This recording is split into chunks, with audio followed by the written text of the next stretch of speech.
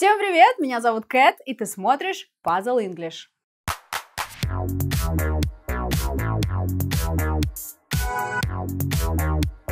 Давай сегодня поговорим о нюансах, потому что в английском языке маленькую детальку поменял, и все, смысл поменялся. Говорить будем сегодня о глаголах фразеологических, а менять будем предлоги.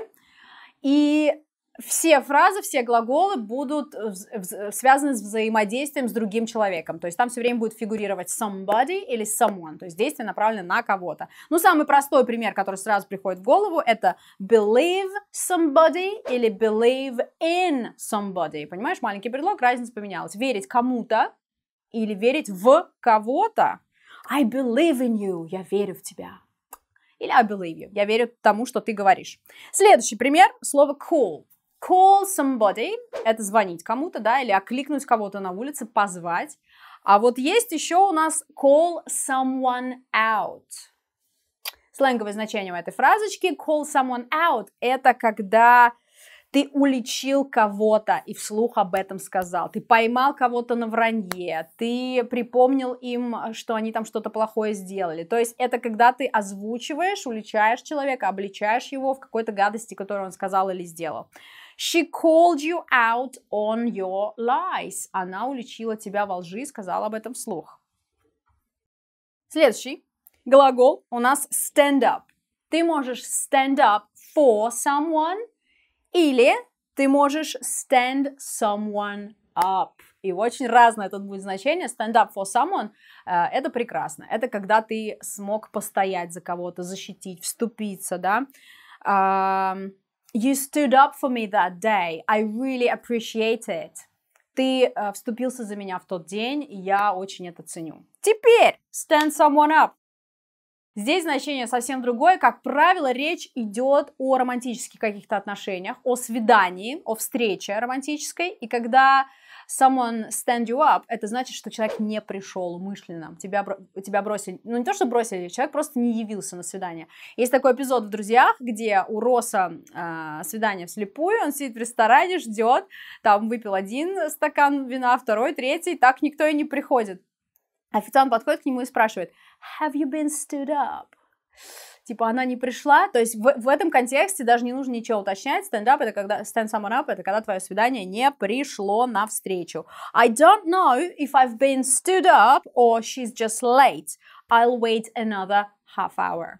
Да, я не уверен, то ли она забила и не придет, то ли она опаздывает, поэтому я еще полчасика подожду.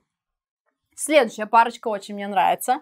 Uh, hit someone and hit on someone. Вообще нельзя путать ни в коем случае. Hit someone – это ударить кого-то, да? Ударить. А вот hit on someone – это подкатывать кому-то, флиртовать. Понимаешь, да, почему нельзя путать? То есть ты можешь в лоб спросить кого-то в барчике где-нибудь Are you hitting on me? Ты ко мне подкатываешь. Или He was hitting on me all night. Он весь вечер ко мне подкатывал. Так, дальше идем. Uh, tell somebody off с двумя F или tell on somebody. Tell somebody off – это значит кого-то отчитать. Ах, ты такой секой, как ты мог. I got told off for being late. Меня отчитали за то, что я опоздал. Опять. Правда. True story. Или um, tell on somebody – это когда ты настучал на кого-то ты донес на человека, рассказал, выдал, наябедничал. Вот так. We were worried he would tell on us, so we paid him to keep quiet. Мы переживали, что он настучит на нас, и мы ему заплатили бабла, чтобы он молчал.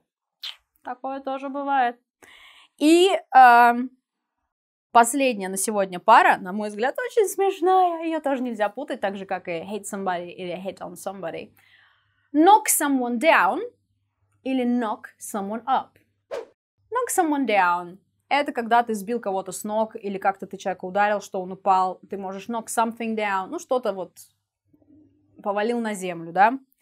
Um, I was nearly knocked down by a bus.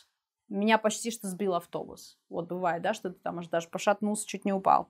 Knock someone up, по логике вещей, ты думаешь, это, наверное, что-то куда-то наверх забить, но нет, это фразеологический глагол с одним только значением, э, ну, на сленге, по крайней мере, knock someone up, это забеременеть или сделать кого-то беременным. Все. Поэтому, не, поэтому, пожалуйста, имей это в виду, когда будешь это использовать, и если ты будешь это использовать. She got knocked up by some random guy last year, so she had to quit school. Она забеременела от какого-то левого чувака в прошлом году, и ей пришлось бросить школу. Вот такое. Но это, кстати, не очень... Эм, у него такое немножко негативное значение. То есть, если, например, это пара, семья, вот там у них, они там ждут ребенка, то ты не скажешь knock up. Knock up это больше, знаешь, как залетело, мы говорим. Фу, залетело от какого-то непонятного чувака. Поэтому будь осторожна, когда используешь это, нужен здесь контекст. Ну что, совсем разобрались? Я думаю, что я еще накопаю таких же пар в скором времени и сделаю еще один выпуск. Спасибо большое, что смотрели. Учи английский с Puzzle English. It's a party. Oh.